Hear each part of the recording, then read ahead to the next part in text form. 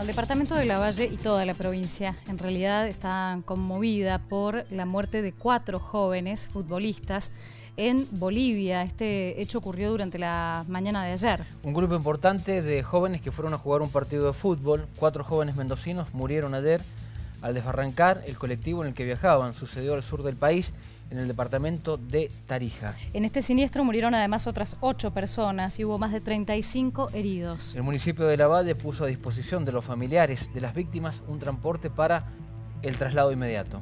Los futbolistas muertos han sido identificados. Mauro Fuentes, 22 años, jugador de Bodecruz. Jeremías Lucania, de 22 y dos hermanos, Alexis y Nahuela Ávila, de 19 y 24 años respectivamente. Los jóvenes integraban un equipo que iba a disputar un torneo de fútbol. Uno de los mendocinos que viajaba con ellos habría comentado que el colectivo se quedó sin frenos y también sin embrague.